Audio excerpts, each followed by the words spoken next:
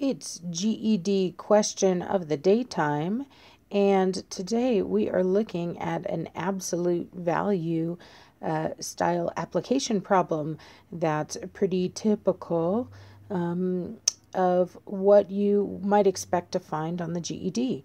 So let's take a look here. It says, what is the distance on a number line between negative 4.5 and 3.4? And they gave us this little number line here so we can look at it.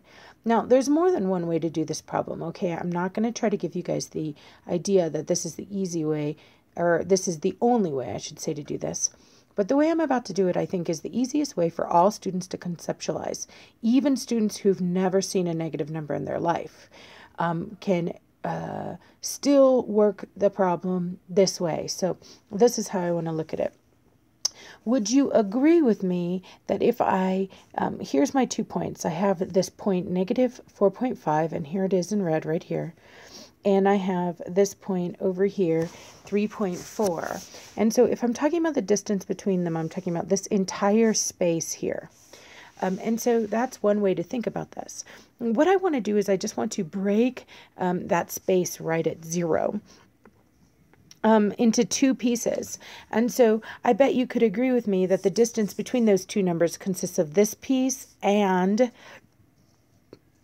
this piece. And when I do that, when I break it at zero, it's really easy to see whether you've ever heard of absolute value or not, which means a distance, uh, numbers, uh, distance from zero on a number line, uh, whether you've ever heard of that concept or not, it's easy enough to see how far away a 3.4 is from 0 on the number line. Of course, 3.4 is 3.4 away from 0 on the number line. So this piece right here is 3.4 units long. Now, how long is this piece? A lot of students will write that this piece is negative 4.5. But if you wrote that, you'd be wrong. Even though the point is at negative 4.5, you'd never talk about distance as being negative. So even though, yes, negative 4.5 is on the left-hand side of 0, the length of that, or the distance that's represented there, is still 4.5 units. So now I see two pieces, and I need to put these two pieces together. I have this side, 4.5, and that side, and I want to total them. To find a total in math class, of course, um, when you have two separate numbers, you just add. So I'm going to add that 4.5 and that 3.4. And notice no negatives got involved because I wasn't considering, I was just considering the distance. So 5 plus 4 is 9, 4 plus 3 is 7, and so my answer is 7.9.